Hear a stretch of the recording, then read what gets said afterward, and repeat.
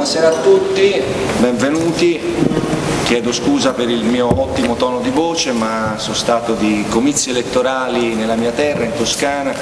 e quando si fa un po' di attività elettorale la voce può anche andare via e quindi vi chiedo scusa di questo. Eh, riprendiamo le attività di, del nostro centro studi Machiavelli con uh, un argomento molto importante, caldo e anche eh, al centro del, del, contratto per la formazione del, del nuovo governo,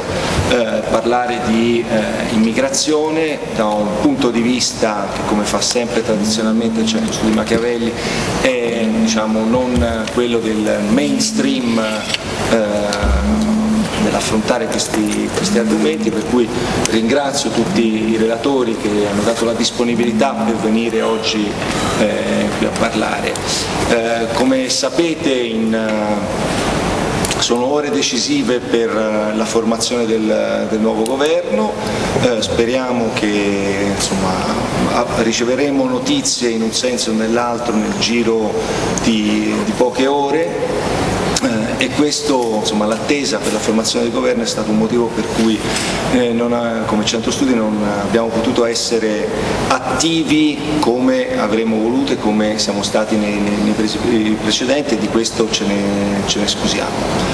Eh, il problema dell'immigrazione è un problema caldissimo, in, in questi giorni non, non c'è solo lo spread, avete visto che per eh, tra i vari fattori esterni che sembravano mettere pressione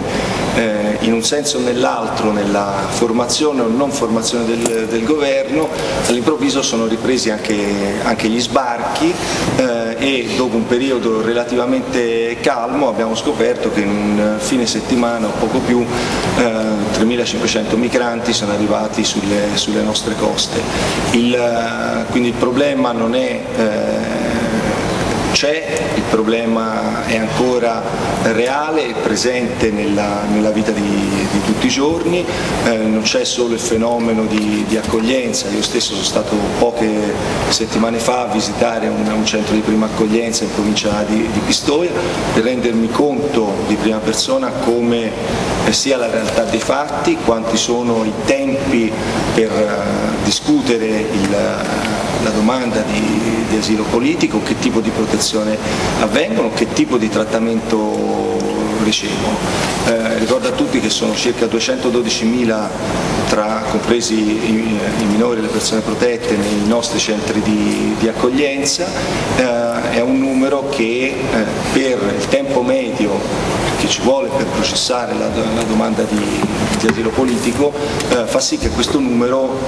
sia, sia in piedi. Un costo complessivo per le casse dello Stato eh, previsto nel, nel, 2018 di oltre eh, 5,4 miliardi di euro. Quindi è un problema reale, un problema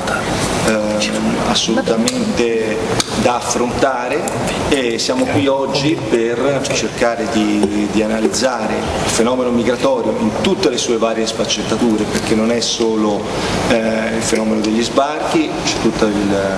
eh,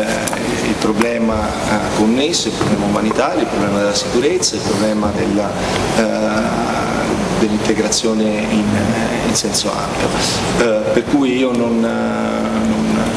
mi dilungo troppo e passo la parola a Dario che modera il, Dario Citati che modera